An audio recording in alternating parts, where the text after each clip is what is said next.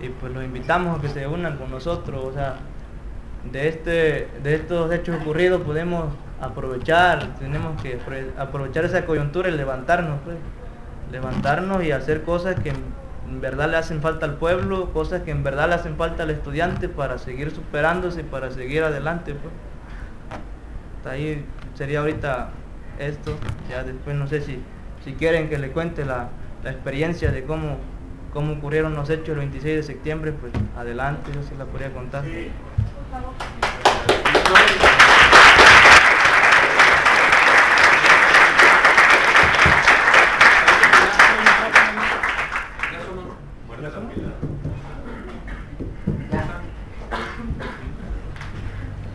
Sí, el,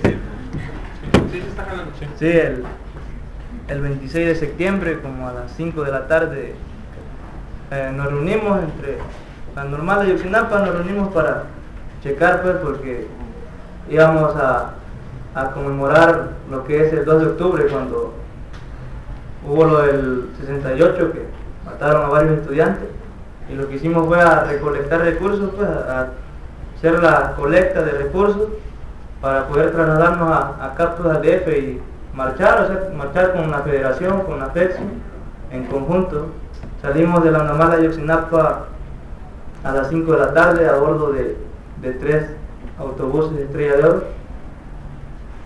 Llegamos a Huitzuco, donde siempre realizamos nuestras actividades de boteo. Llegamos, nos acomodamos donde íbamos a estar. Como a las 6 de 7 llegamos ahí a, a Huitzuco. Se llegaron a 7 y media. Lo que hicimos fue, necesitábamos un, un autobús para que se fuera con nosotros a, la escuela y nos trasladara a la marcha. Lo que hicimos fue hablar con, con el chofer, decirle que, que, nos hiciera el favor de, irse a la escuela pues, y que nomás lo ocuparíamos para una marcha y de ahí lo íbamos a dejar ir.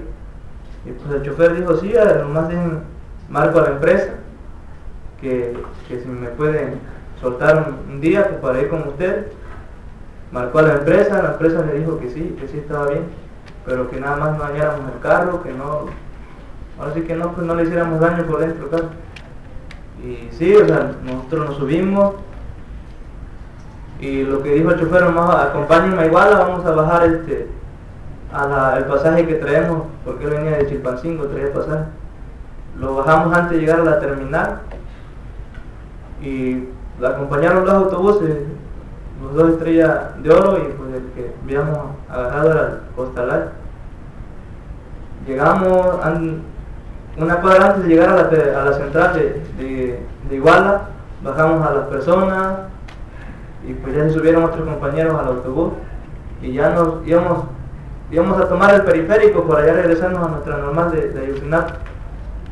Cuando llegando al Zócalo de Iguala llegaron patrullas municipales disparando, nos empezaron a disparar este, directo al autobús, unos disparaban hacia arriba, pero después lo que hicimos fue bajarnos y hablar con ellos, pues, por qué nos estaban disparando si nosotros ya nos íbamos a retirar, que ya nada más era, pues, más bien, fuimos ahí nomás a dejar a, las personas al pasaje y ahí íbamos a agarrar otra vez para Chilpancingo, que ya íbamos de regreso.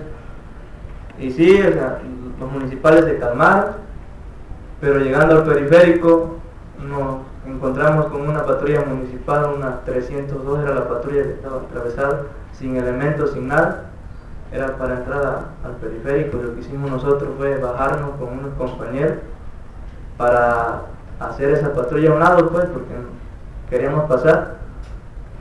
Cuando se bajaron seis compañeros a querer hacer un lado la patrulla, cuando iban llegando a la patrulla, cuando llegaron municipales disparando directo de diferentes lados, algunos llegaron otras patrullas disparando, fue cuando tumbaron un compañero que se encuentra con vida vegetativa, Aldo Gutiérrez, tiene el 70% del cerebro muerto, le dieron a otros dos compañeros la normal de Yosinato, y pues los disparos estaban surtidos, no dejaban ni, ni que alzáramos a nuestro compañero, ni que lo lo ayudaran.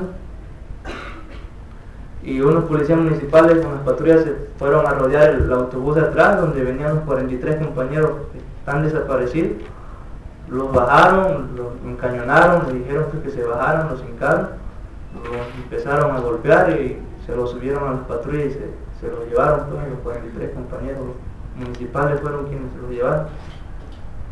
Y ya las balas pues, no, dejaron pues, que nosotros defendiéramos a nuestros compañeros, pues, porque con pura R15 estaban tirando y 9 milímetros, que nosotros sin nada que íbamos a hacer. Los policías se retiraron, se calmó un poco esto, llegaron unos compañeros de la normal de para ayudarnos porque le marcamos que nos habían balaseado y llegaron a ver qué estaba pasando, pues, a controlar, o sea, a controlar nada más este problema. Pero, pero nosotros este, tardamos ahí en donde habían ocurrido los hechos, esperando derechos humanos, porque tenía que levantar el acta pues, para explicarles lo que había ocurrido, qué había pasado. Como a las 12 de la noche llegó una camioneta roja, una lobo, muy despacio, iba llegando muy despacio a, donde estábamos nosotros. Pero después, no sé, se bajaron de manera rápida, unos, eran como cuatro tipos que se bajaron de manera rápida, con cuernos de chivo nos empezaron a tirar, eran del cártel de Guerreros Unidos, con cuernos de chivo nos empezaron a tirar, directo pues lo que querían era tumbar a quien sea, querían matarnos pues. Fue cuando le dieron ahí a otros dos compañeros, tres compañeros que mataron. Un, recuerdo que un tipo se hasta se hincó con un cuerno de chivo para tirarnos, se hincó y empezó a tirar su ráfaga del cuerno, tumbando a quien sea, pues no le importaba matar, no tenía sentimiento alguno si le daba un ser humano, un estudiante.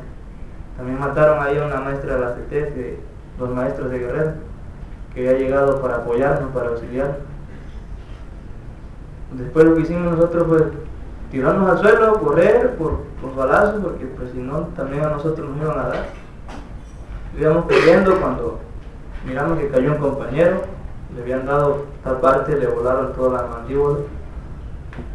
Pues lo que hicimos con otro compañero fue que lo levantó, ya seguimos corriendo con él, ayudándolo, porque las balas estaban bien pues dispuestas a atravesar a quien sea. Pues. Nosotros íbamos con el compañero cargándolo y aún así seguían los balazos atrás, pues, nomás mirábamos cómo picaban adelante las balas. Llegamos a un hospital que estaba como a tres cuadras de ahí.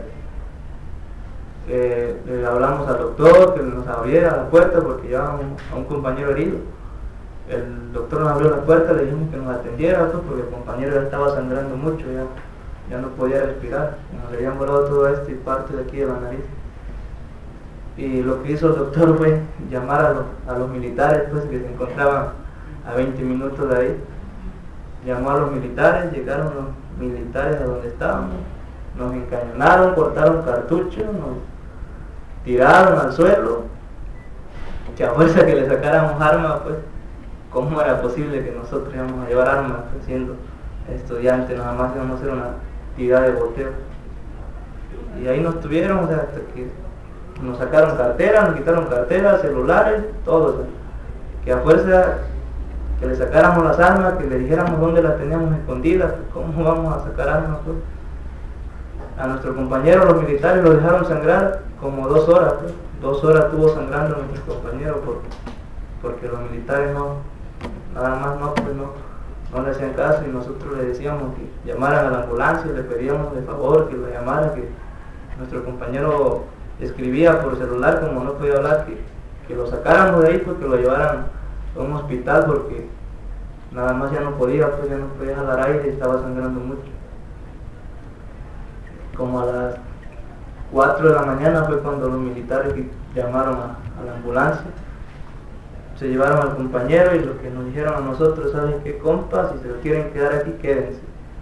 Pero si llegan otra vez esos cabrones ya no va a ser nuestra responsabilidad. Cuando ellos son los que nos tienen que brindar protección, pues, nos dicen eso, que salgamos huyendo como quieran, pues cabrón, no, no pues eso no es, no es de fuerzas que nos protegen, pues. Y ahí nos dejaron y pues lo que hicimos nosotros salir corriendo por las calles pidiendo al ojo en las casas donde quisieran dar al ojo, pues llegamos como a, corrimos como 18 cuadras, pues, como 9 cuadras, hasta que llegamos a una casa que sí nos, abrió la puerta, nos dijo, pasen muchachos, pues, está muy pequeña la casa, pero pues aquí se pueden quedar un, buen rato. Y ahí estuvimos toda mañana, como a las 8 de la mañana llegaron los federales y nos llevaron a, la Proco a declarar ahí igual. Pero pues mientras habían hecho todo esto, pues habían masacrado, habían tumbado a tres compañeros, pues, cosas que, que no nos merecemos, pues todos somos seres humanos, aquí todos llevamos la misma sangre por dentro, todos somos hijos de este país mexicano y por lo tanto creo que la lucha ya no, nada más le pertenece a Yotinapa, sino a toda la base estudiantil de, este país, de México.